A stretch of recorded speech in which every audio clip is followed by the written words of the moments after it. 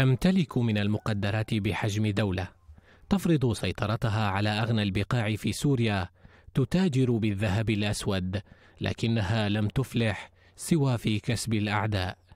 إنها قسد التي زرعت حدودها بالنار والخصوم والتي تسير اليوم في الاتجاه ذاته مع إقليم كردستان العراق بوابة المنطقة الوحيدة وشريان الحياة لتجد نفسها محاصرة تماما ومن جميع الجهات.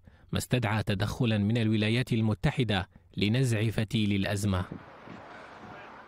حرب المعابر التي تشنها أربيل ضد قوات سوريا الديمقراطية تعود أسبابها المباشرة إلى هجوم نفذه عشرات العناصر الذين يطلقون على أنفسهم اسم شبيبة الثورة على معبر سيميلك النهري الذي يربط مناطق الإدارة الذاتية بالإقليم. والشبيبة هم مجموعات من الشبان القصر المرتبطين بحزب العمال الكردستاني ويأتمرون بأمر مسؤوليه ما يشي بوجود أسباب أخرى مبطنة لم تظهر إلى العلن أطرافها كردية كردية أحزاب وجماعات.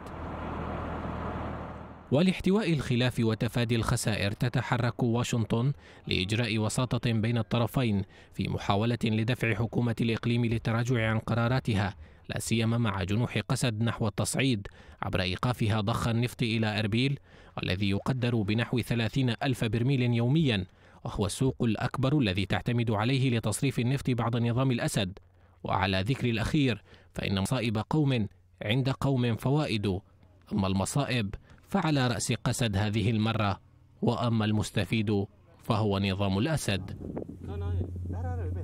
أزمات الحدود التي تعصف بمناطق الإدارة الذاتية تقابلها أزمات في الوسط وما بين ذلك تصر قسد على عنجهية العسكر كمسار وحيد في التعامل مع ما يحدث داخليا وخارجيا بينما يدور حجر الرحى ليعصر المواطن الرازح أصلا تحت وطأة الهموم المعيشية. فكيف وإلى أين تسير المنطقة؟